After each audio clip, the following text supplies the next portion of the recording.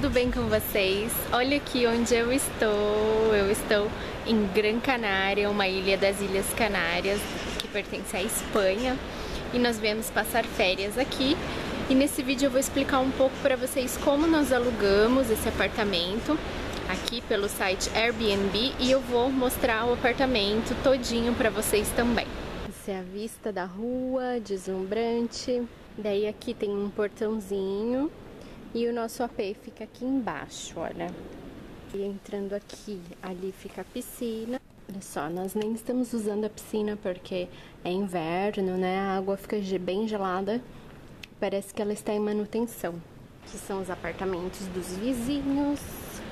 Chegando aqui, tcharam! O sol deu uma escondida, mas aqui fica bem azul quando tá sol.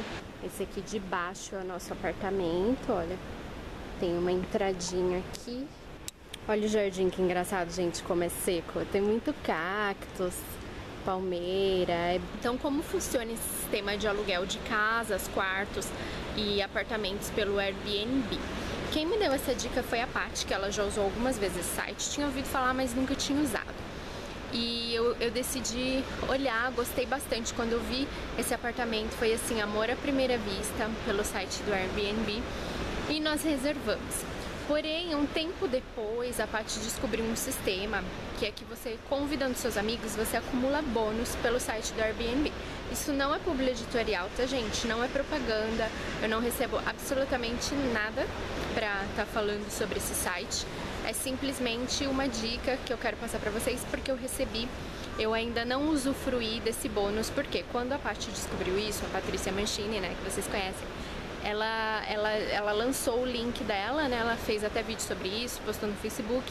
E quem se inscrevesse, fizesse o perfil no Airbnb pelo link dela, ganharia 20 euros de bônus, mas eu já tinha feito a minha reserva aqui em Gran Canária. Então, assim, eu ainda não recebi nada, não, não ganhei nenhum bônus, mas enfim, não tem problema porque eu gostei bastante desse sistema do site. Então você fez lá o seu perfil, você pode fazer com a sua conta do Facebook mesmo ou criar com o seu e-mail, não importa, é rapidinho, facinho. Você se cadastra com o meu link, que eu vou deixar aqui embaixo, também tem um link pessoal, e você já vai é, acumular 20 euros para desconto na sua próxima reserva. Isso vale por três anos, tá? Então suponhamos você foi lá, se cadastrou pelo meu link agora e ano que vem você quer ir passar Páscoa, sei lá, no Guarujá, suponhamos, em São Paulo. É, ainda vai estar válido, tá? É convertido para real os 20 euros e você vai ter um desconto no momento que você efetuar o pagamento. Eu fiz com cartão de crédito, eu não lembro quais são as opções de pagamento, vocês precisam olhar lá, tá bom? E se você tem uma casa ou uma pousada, você é dono de pousada, você também quer disponibilizar quartos, você também pode fazer o seu cadastro por esse site. Eu acredito que eles devem cobrar uma taxa, né? Eu não sei como é porque eu nunca ofereci nada para alugar, eu só aluguei, mas vocês podem verificar lá como funciona, tá bom?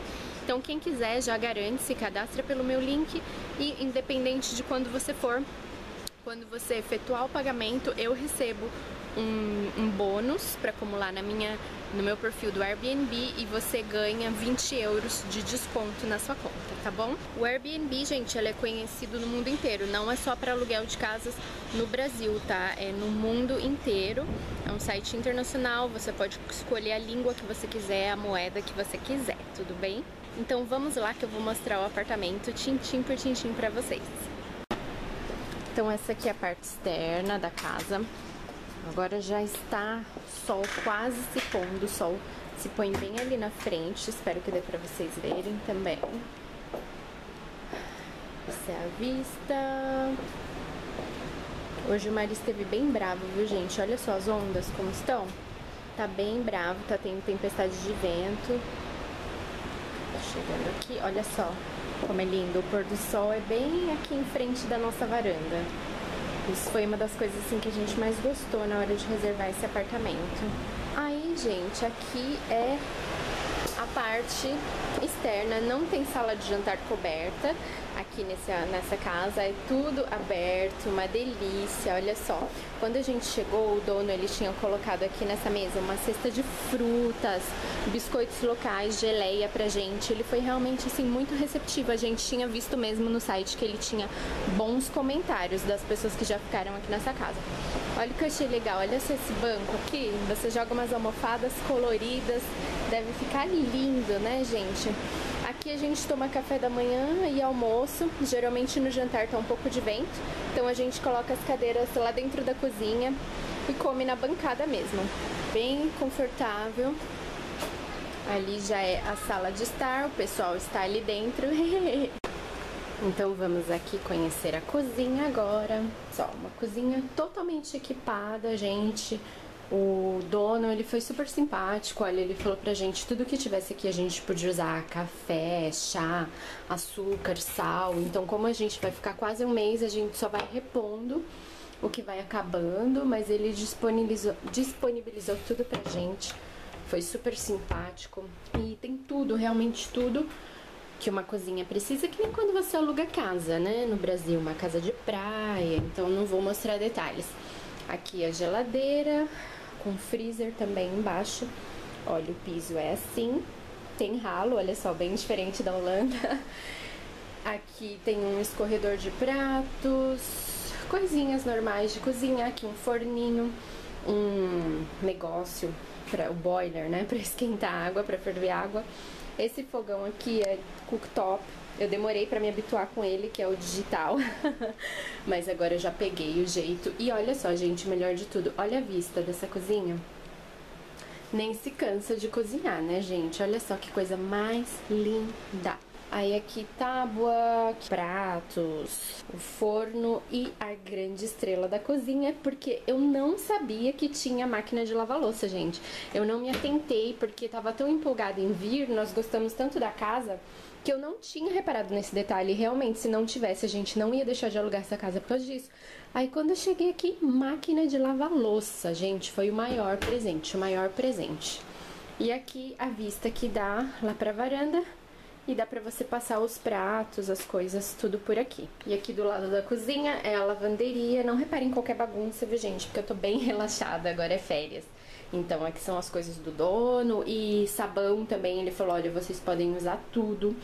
A máquina de lavar. Eu imaginei assim, a gente chegar já tendo que ir no mercado, comprar até papel higiênico, sabe? Mas não, ele deixou a casa super preparada pra gente, super simpático. Então, entrando, gente, aqui na sala de estar. Olha só, tem esse sofás que eu achei bem interessante. Olha, ele é feito no concreto.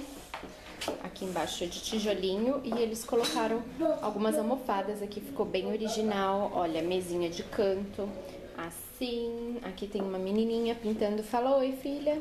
Filha, fala oi, pessoal. Tá intertida aqui com os livros, não quer dar oi. Ali outra mesinha de canto, tinha até velhinhas perfumadas quando a gente chegou na casa, tudo bem aconchegante. Aqui a janela que já dá pro outro quarto que eu vou mostrar pra vocês. Olha só, aqui tem uma luminária, acredito que ela é da Ikea, porque eu já vi bastante desse tipo de luminária. Aqui um móvel, uma televisão bem pequena, a gente quase não assiste porque a gente tá tanto fora da casa Aqui tem uma baguncinha básica, não reparem. Tem alguns objetos de decoração aqui que eu acho que o dono trouxe das viagens dele. Aqui um quadro de farol, aqui uns vasinhos. Gente, vocês lembram desse vasinho que eu tenho lá na minha cabeceira de cama? Também da Ikea. Ikea Universal, né? Aqui é a vista lá pra fora, também bem linda, olha só, do mar. Esse barulho acho que é um vizinho aqui. Olha, o chão é assim, não sei, acho que é cerâmica o nome, né? Eu não lembro mais, só sei que da casa da minha avó sempre foi assim. E aqui tem uma bancadinha para colocar bolsas, essas coisas. Aqui em cima tem um espaço que eu não sei para que que serve. Talvez algum arquiteto saiba, porque realmente eu não sei. Olha, ali em cima tem um vão, daí subindo aqui seu corredor que vai lá para os outros quartos. Esse aqui é o quarto que a Estela tá. Eu achei muito legal essa parede de vidro, gente, olha só. Com tijolinho embaixo. Aí aqui tem essa porta de correr, essa janelona aqui, que dá lá para a sala. Olha só que legal. E aqui a cama, que a Estela tá dormindo. Olha só, tem essa lumináriazinha fofa, eu acredito que ela é da Ikea, porque é bem estilo Ikea também. Tem isso na parede, que eu acredito que deve ser de alguma viagem dele, né, do dono da casa. E aqui é assim, olha, que interessante.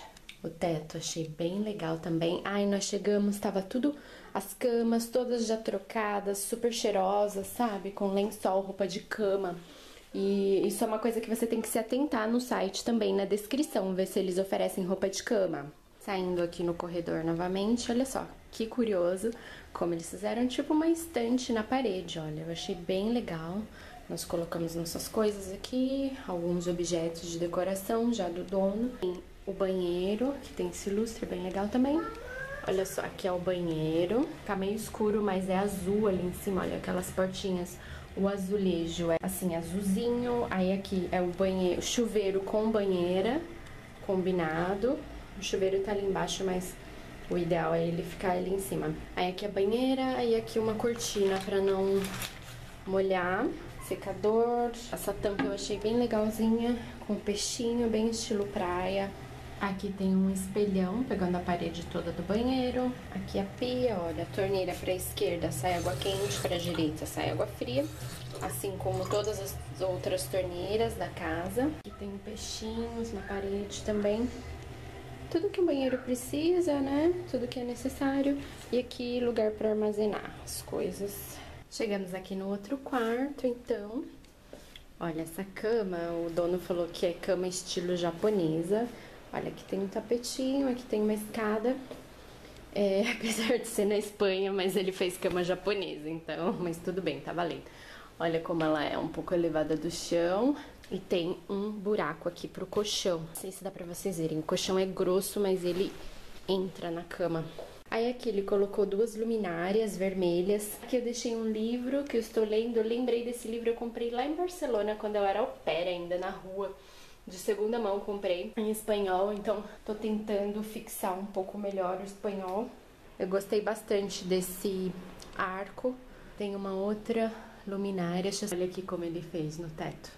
Aqui a janela, olha só que coisa mais linda. Acordar de manhã e com essa vista tem telinha aqui para evitar as moscas. E aí aqui tem nossas baguncinhas, olha, quando nós chegamos nesse puff aqui, ele deixou as toalhas todas dobradinhas, limpinhas, sabe? Foi como você chegar na casa de um parente foi mais ou menos assim a sensação. Aqui tem essa cômoda, né? Cômodazinho de deixar os cosméticos. Olha, gente, tá assim porque eu coloco fita crepe pra não vazar dentro da mala no avião. Aí aqui, nossas malas. Aqui eu deixo as roupas que estão, usou só uma vez e não tá suja ainda. Aqui eu tô colocando roupa suja pra levar lá pra lavanderia. E aqui tem o guarda-roupa, olha. Tem essa parte aqui que abre, olha como é fundo.